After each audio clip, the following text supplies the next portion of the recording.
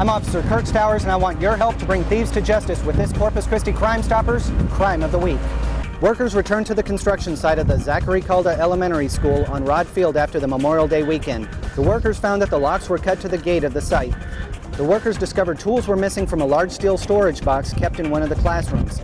Copper wire and 1,000 feet of welding lead was stolen from a classroom used to store the material. In all, about $13,500 worth of property was taken from this construction site from hard workers trying to build a school for this community. If you have any information about this crime, call Crime Stoppers at 888-TIPS or log on to 888-TIPS.com. We want your information, not your name. If the information leads to an arrest, it could earn you up to $1,000 in cash.